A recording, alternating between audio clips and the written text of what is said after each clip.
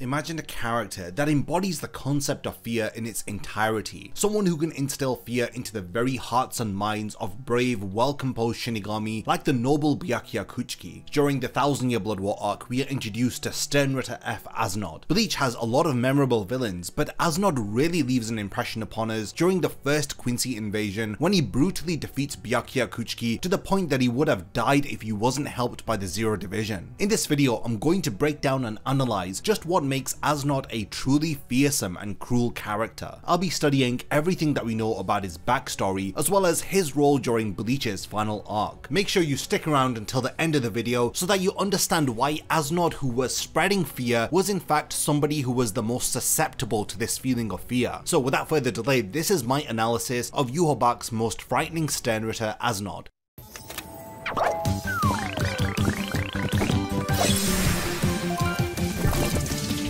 As Nodt makes his debut appearance within chapter 494 of the manga and in the third episode of the brand new Thousand Year Blood War arc anime. He has the letter F engraved onto his soul by Yhwach, which manifests into a Schrift ability the Fear, a truly fearsome power that induces an unlimited amount of fear onto his opponents. Unfortunately, Byakuya Kuchiki had felt the full force of his power during the first Quincy invasion, but I'm going to talk about that later on in the video. As Nodt has a unique appearance amongst the diverse cast cast of Sternritter. He has long black hair with dark menacing eyes. His clothing is a personalized version of the Sternritter uniform as he is donning a long trench coat which is decorated by several buttons, along with the dark mask that he wears which conceals the lower half of his face. Now I love how this mask has five spikes running down the middle of it. It's just a really cool design reminiscent of clothing worn by punk rockers from the 80s. In addition to this punk rock inspired look, he has a few gruesome features incorporated into his design. For example, when we finally get a glimpse of his face under his mask in chapter 658, we see that he has a decaying mouth resembling an undead zombie from horror movies, with his teeth and gums exposed, giving him a very horrific appearance, which he ends up revealing to Rukia during their battle. Thankfully, As Nodt is one of the Sternritter who we get to see plenty of during the final arc of the manga. Unfortunately, this isn't the case with all of the members of Yhwach's army, but that's a topic for another video. In chapter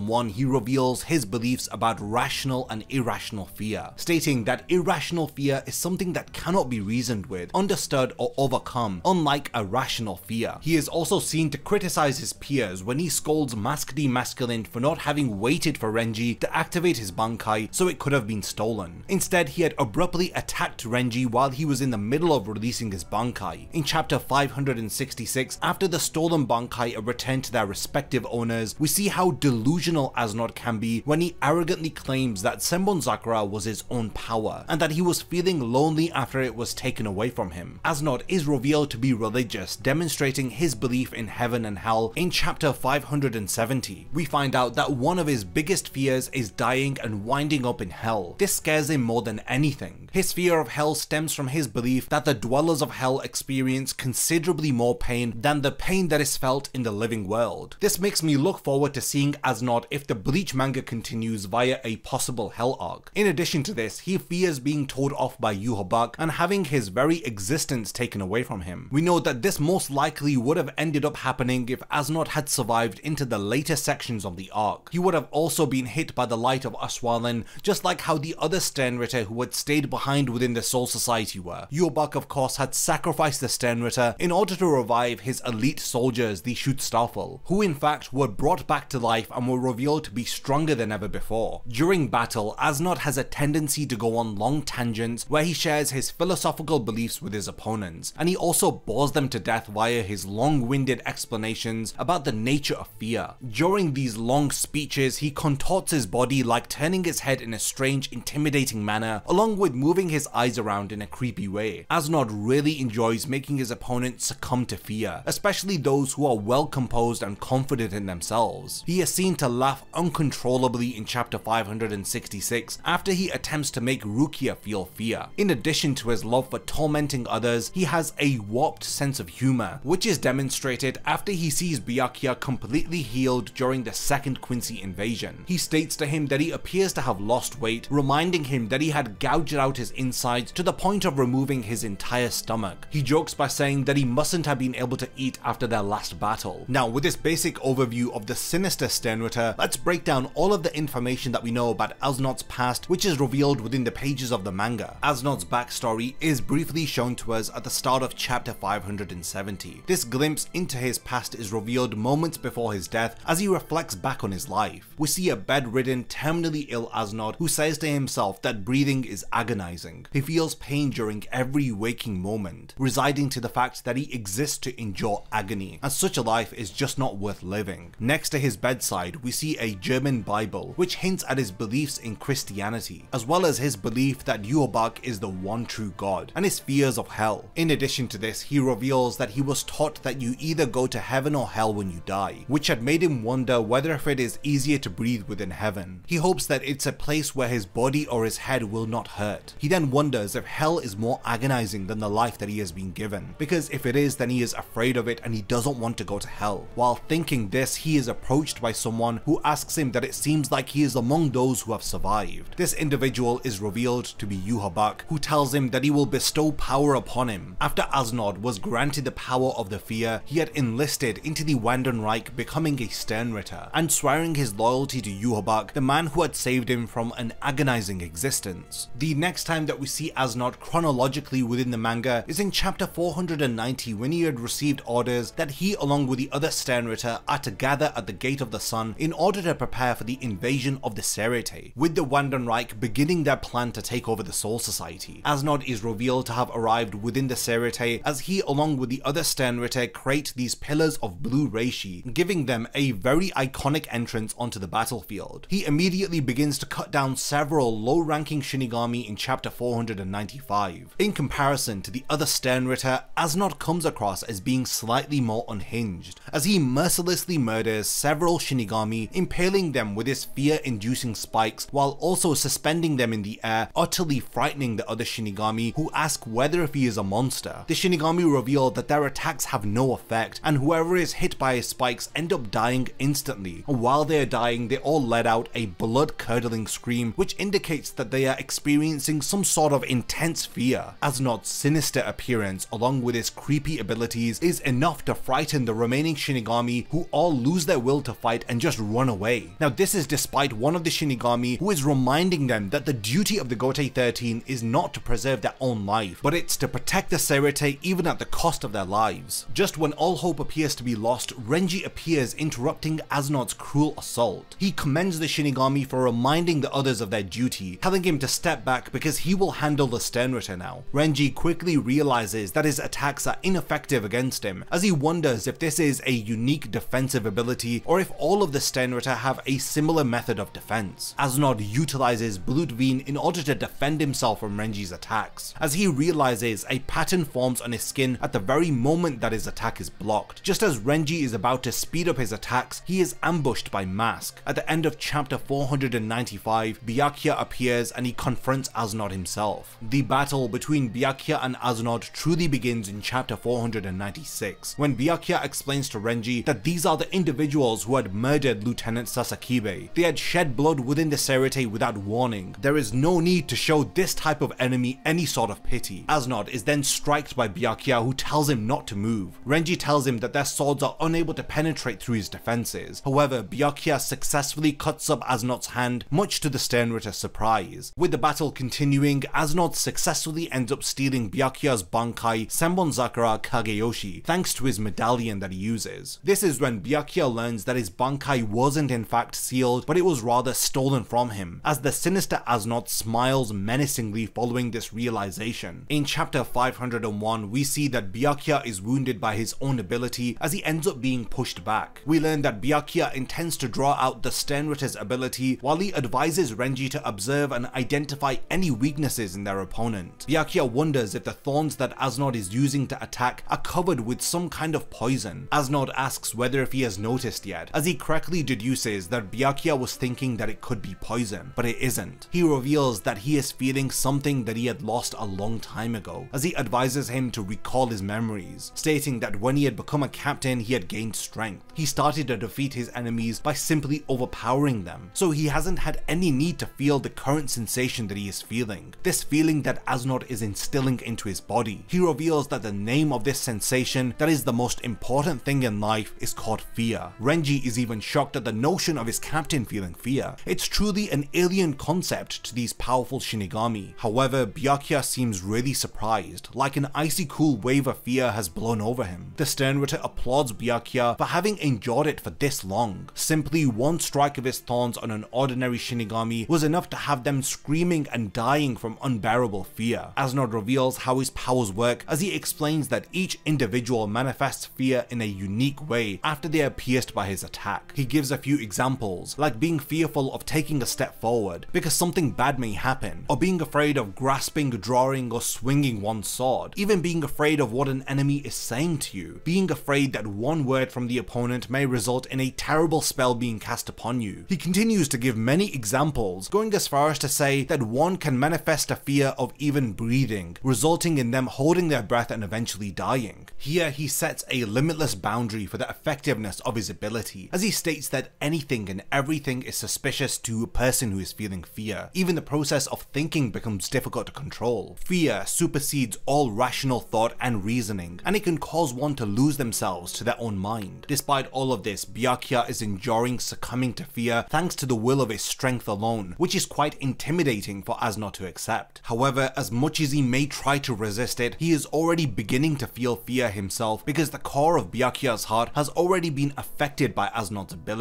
As Nodt is striked by Byakuya but he blocks the attack. Byakuya thinks about fear as he wonders that it is absurd. There is no battle without fear. It is this very fear that he has overcome every time that he has survived from a life or death encounter. He says to himself that he has never repressed the feeling of fear. He has gained strength to move forward by accepting fear and conquering it in battle. However, despite his denial, Byakuya does in fact succumb to fear when he imagines a decaying Rukia which stuns him completely, which allows for As Nodt to deliver his first critical blow of the battle. As Nodt is surprised that Byakuya is still standing. He explains to him that fear can be overcome with experience. The stronger and more experienced you are, the harder it is for you to fall under the illusion that is cast by the feeling of fear. Incidentally, fear that originates from a rational cause is easy to overcome because it can be stopped by force of will and experience alone. As long as there is a rational root cause of the fear, then it can be removed easily. Now, true fear, which As Nodt is in the business of dealing, stems from no rational cause because it doesn't lead to an emotional response. Irrational fear causes an instinctive response, one cultivated through generations of evolution which have subconsciously taught us what to be fearful of in order to ensure our own survival. As Nodt states that true fear has no cause, no limits, it is like a limitless amount of flies that are crawling all over your body. He tells Byakuya that there is no escape from instinct as he imagines his body covered in flies.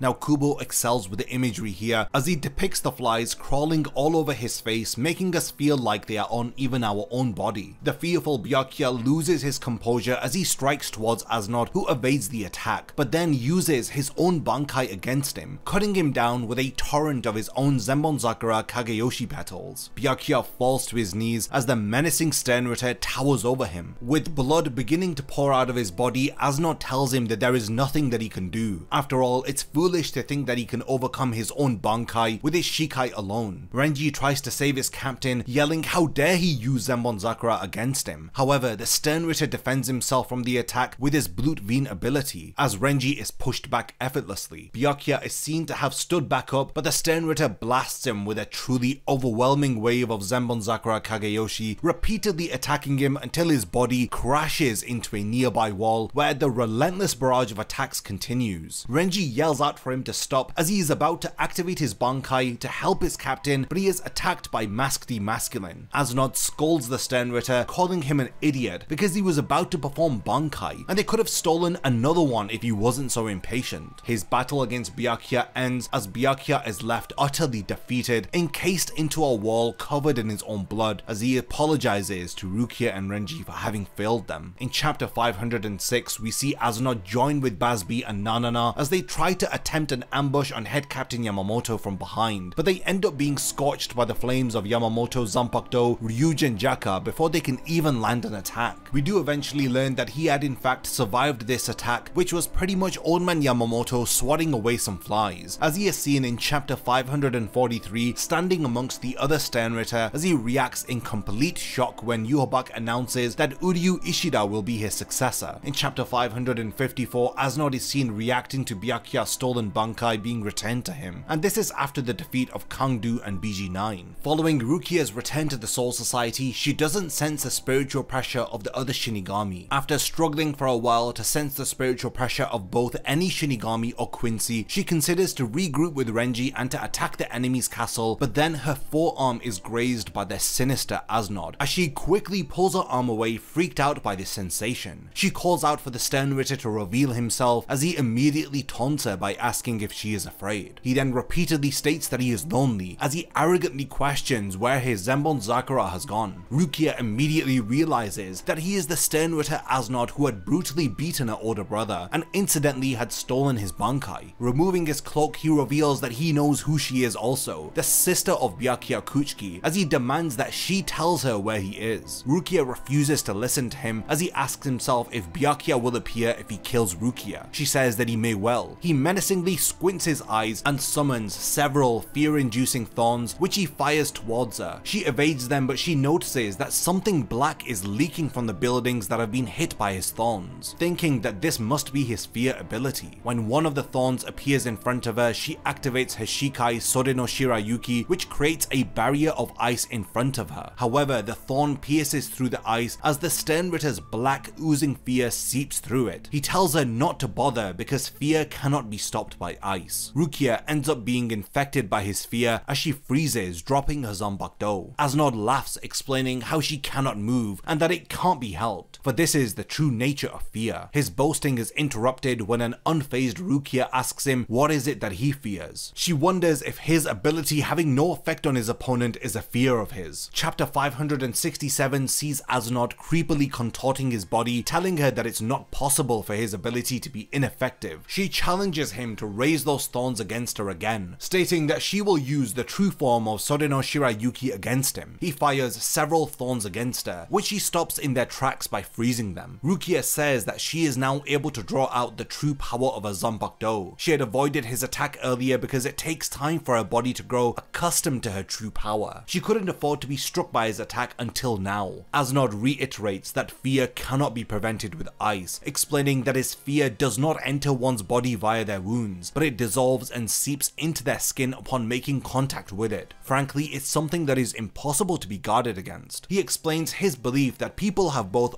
of relief and fear. When they enter a place of relief and are asked about why they feel relieved, they answer nonchalantly just because. However, when they enter a place of fear, almost everyone will have a definitive reason for their fears. Examples include being afraid of the darkness, coldness, heights, confinement, pain, or even filthiness. They will be able to give you a long list of reasons for why they are feeling fear. This is because relief is tied to life, and all fears are tied to death. Most people may not be able to give you a reason to live, but you can definitely count on the fact that they will give you several reasons as to why they don't want to die. This isn't just limited to sentient beings with emotions, but to everything that is alive. All creatures purposefully evade death, which symbolizes their evasion to fear. Thus, As Nodt concludes that we are instinctively created to avoid fear. So for this reason, it is not possible for her to be unaffected by fear as long as she is alive. Rukia totally agrees with him, but explains that she doesn't have life right now. Confused, As Nodt demands an explanation, as she tells him that Sode no Shirayuki's true power allows her to lower her body temperature to below freezing, thus allowing her to freeze whatever it touches. The blade is literally an extension of her arm. As Nodt refuses to believe this, lowering your body temperature below freezing causes all molecular motion to cease. Life cannot be sustained under such conditions. There is no way that she can remain alive in this state. Rukia surprisingly reveals that at this moment she is dead, and she has learned how to temporarily kill her body's functions via the control of her reishi. It's true, all molecular motion has ceased within her, so it's for that reason that the fear which has seeped into her body has stopped at the very surface of her body. He remains in disbelief saying that it's impossible, but Rukia appears beside him cutting the Sternritter with a Zanpakuto which is currently at minus 18 degrees. She explains that at this temperature the blood within the body freezes, so blood can no longer flow from a cut, which is demonstrated by no blood being seen to pour out from As Nodt's wound. She continues to explain that at minus 50 degrees, the moisture within the ground beneath her feet freezes, causing an ice quake, which unnerves As Nodt even further. Rukia brings her body temperature down to minus 273.15 degrees. This is absolute zero, as she states states that she can only function at this temperature for 4 seconds. She quickly strikes As Nodt, completely freezing his entire body as he thinks to himself whether if this is what it feels like to experience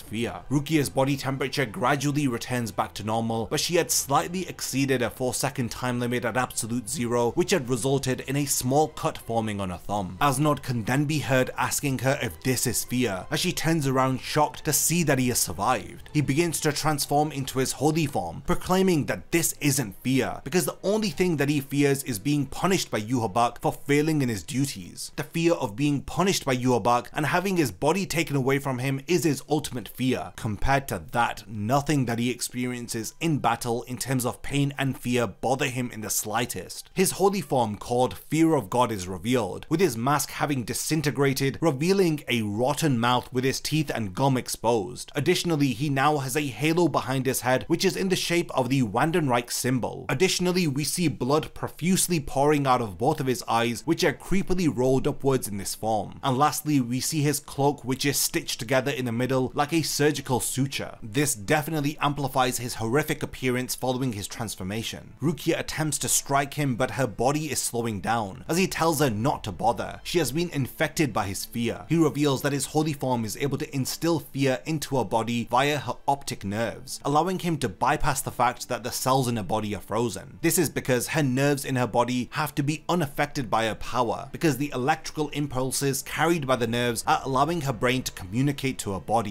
which explains why her body can function and interpret her senses despite her bodily function ceasing. While it is a very convenient way to bypass Rukia's power, it is nonetheless very big brain of Kubo to implement this strategy in order to effectively trap Rukia into a corner. He then summons a wall of fear-inducing eyes to surround them, stating that she can no longer escape his gaze. Everywhere that she looks, she sees him. Even closing her eyelids will do nothing, because fearful memories last within the heart for a long time. Similar to how past fears are reflected in the darkness of the night, a fear that you have seen once will resonate even stronger deep within the brain the more harder that one shuts their eyes. Rukia succumbs to fear with the Sternritter exclaiming that her mind will now be ripped apart by the fears that she has been trying to avoid. Before Rukia's fate is sealed, they are interrupted by the appearance of Byakuya who cuts through his wall of eyes, arriving just in time to save his sister. As Nodt is pleasantly surprised to see him. He immediately begins to taunt him, stating that he has been waiting for him,